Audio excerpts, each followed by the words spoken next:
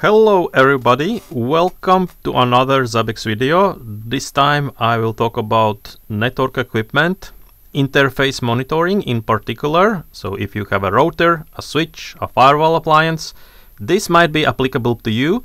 And the use case for interface monitoring will be uh, sometimes we have uh, speed, uh, very defined speed uh, for a port or a virtual like port and uh, this speed is very tied inside the device. Like device thinks this is the throughput capabilities of this interface but turns out like uh, some like the equipment which is connected to that port is uh, not supporting so big throughput and then we need to introduce an override and I will share quite elegant solution how easy is to uh, like introduce uh, override. You clearly know like this is not the throughput capabilities. You know better than device how to implement such template.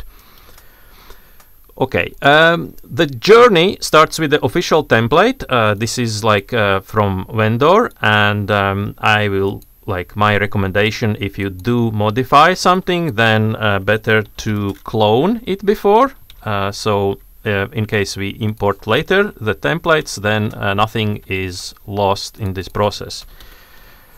Uh, okay, so I'm cloning the template and now uh, searching my work over here. Let's do the implementation. Uh, I will start to remind ourselves that uh, inside the 6.4, 7.0, 7.2, we have uh, bulk data collection. In the modern templates we so we have uh, these uh, so-called walk items which does uh, like everything in one go. Uh, so every one minute uh, we will walk device and feed all the items like all the counters will be read and speed throughput errors all that goes into this bulk request. And uh, this is getting very useful if you have SNMP version 3. Then, when we think about encrypting, traffic decrypting, then this is super efficient for Zabbix and also for device. We can save so much CPU on uh, on this method, uh, and yeah, the device will be happy. So this is the start of uh, this um, mechanism. We does the bulk data collection every one minute. And then uh, inside the official template, we have also dependent items. So this reads the inputs from that uh, one minute item. And inside item prototypes, we have a standardized like interface monitoring. This is uh, not only for MikroTik, this is almost for every equipment. Uh, so even if you have different equipment, most likely it's using same OIDs as in this tutorial. Uh, so the first thing uh, in this um, thing, uh, like the use case usually is uh, I want to see the utilization of interface, uh, which is not really covered out from the box. To do so, we need to create an calculated item. I will do that right away, opening by another tab. Inside another tab, let's clone like some item, clone, and switch this item to calculated item uh, the calculated item will be percentage and the item key will be net if util. It's like a in self uh, in free form. And here I will in the name also write utilization. Uh, the tags will remain the same so it's marking for mark like for alias and name. The pre-processing goes away. And uh, inside here uh, since utilization is uh, measured in percentage, then units is percentage and the actual formula field. Uh, what we need to do is take 100, divide by speed. Uh, let's let's put all the formula last. Uh, do times forward slash, and then will come special va value. Multiply by, and I will put parentheses over here and last again put here over and plus last and uh, two times forward slash and uh, so we need three data points for input. This will be speed, this will be um, input, uh, I mean like bits received and bits sent and I will open another tab and grab those metrics. Speed, uh, this is the speed, uh, putting it after second forward slash, okay, uh, going the picking up the throughput bits received, okay, uh, putting putting in over here and uh, the bits sent over here, and I will put it here. Okay, yeah, this is the formula. Uh, this will generate like the utilization based what is the speed and uh, the speed is like the device thinks itself like well, what's the speed but sometimes uh, device thinks wrong and uh, we, we, will need like an override so this is the first uh, like item add. Uh, now I have a completely new item. Let's create a like let's apply this masterpiece to a host object my MikroTik click and update and uh, yeah it will start to collect very soon uh, in the 7.0 version uh, when we apply the template. The data collection all the discoveries will happen in the very next 20 seconds and we will have like a lot of items. Uh, let's uh, do that final patch. Like how uh, how to redefine if the speed is different? And for that my idea is to inject something inside this item uh, like this is the item which reads the OID, which tells like that it tells the truth what is the speed, what device thinks the speed is, and we will inject something here. And um, to do so, uh, one thing is like um, working with. I mean, we will define like a flag, uh, a flag at the template level. If we open the macro, I will kind of like come up with a flag which will be called something like uh, here net interface and interface uh, speed and the flag will be zero. Uh, and my idea here is if it's zero let's do nothing. Let's not change anything if, if the flag is zero uh, because we will like operate with the context uh, later on. And if there is no context, let's do nothing. Okay, so this is the default flag and um, okay uh, and update. So it's uh, installed in the template. And now like editing the speed. Uh, wh what I like about this solution a, a lot uh, is that I'm fixing this thing in the very roots. Like this is uh, uh, item which is responsible about reading the real speed of device and this very item is actually used in calculated item over here.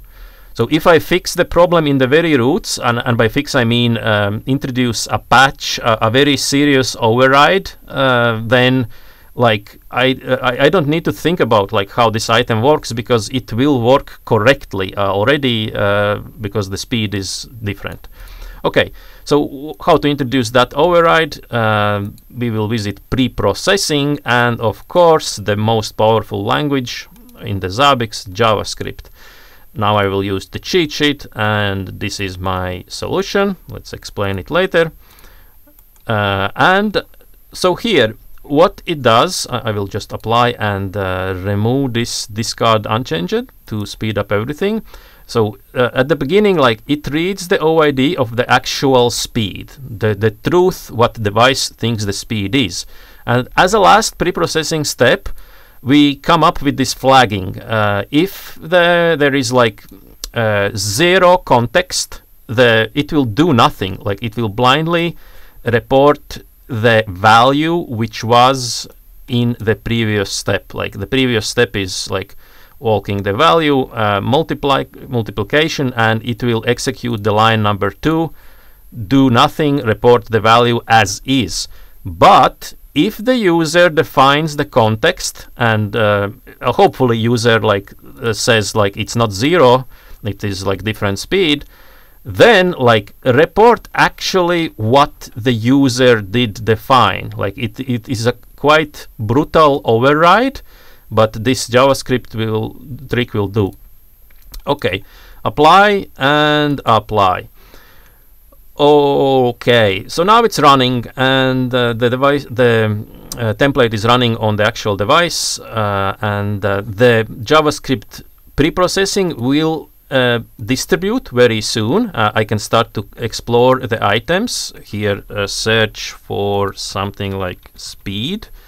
Apply, and uh, here you go. Uh, speed and if we visit the pre-processing it's not yet applied. Uh, it will be applied like soon in the um, next discovery cycle. And I just remembered I made a mistake that uh, to speed up discovery uh, we can discovery uh, visit network interfaces pre-processing and like here discard unchanged with heartbeat. So otherwise we need to wait one hour but for the sake of demo let's remove it update and I remember another mistake uh, or, or improvement.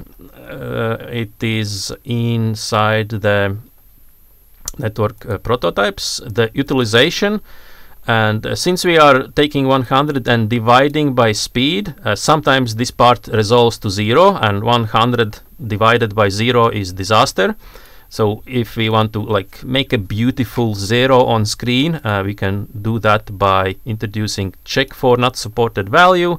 If it's not like if we suddenly divide by zero, then let's reset that error to actual like zero. Update. Uh, visiting the uh, like items at the host level. Uh, now probably the JavaScript is replicated. If we search it over here, speed, click and here you go. Like it's not um, it's our custom solution. And you see here is the context. Like uh, it is reading my alias of my um, router. And uh, we will come to that come back to that in a moment. Uh, now exploring the data. Uh, monitoring latest data. And uh, uh, we have like speed um, here and let's close this filter. And here's what I'm talking about. Like I have a device uh, with eight ports and each port is having support for some sort of throughput and uh, this is the number for the throughput.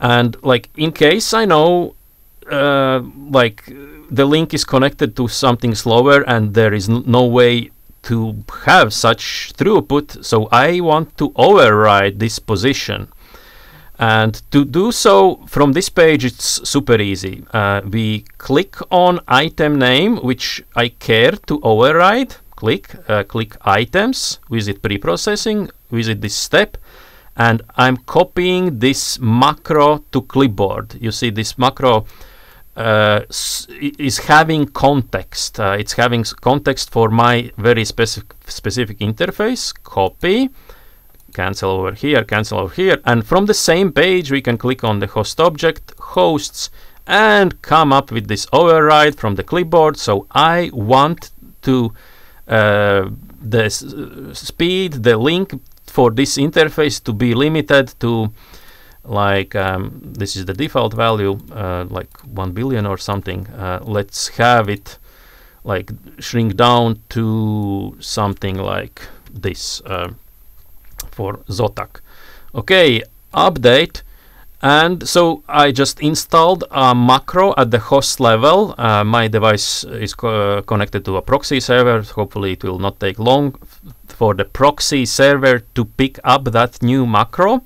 Uh, so right now I have uh, all ports are uh, targeting 1 gigabit per second. If we refresh the page, um, refresh, and uh, not yet. Ah one minute. Maybe in the next five seconds it will be there. Refresh.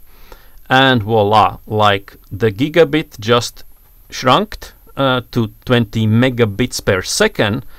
And the beauty of this is like we have this Zotac thing uh, if we check the utilization like this was the calculated item. And the calculated item if we check the formula it's using like the speed over here and it will read the value what the user told. So uh, what is the override? And um, we still like at the end of the day we have a nice uh, percentage. What is the busyness of pipes? Uh, or, or, what is the like yeah which pipe takes the most uh, throughput? Um, okay, uh, as a last best practice, like if you really reproduce this uh, tutorial from scratch, don't forget to put back the discard unchanged uh, discovery rules. Uh, we have uh, network discovery. Uh, I removed this discard unchanged just for to speed up the um, like discovery. So this is the best practice to to run it like this. Update, yes. That is everything for this video. If you find it helpful, useful, give it a thumbs up and thanks for watching.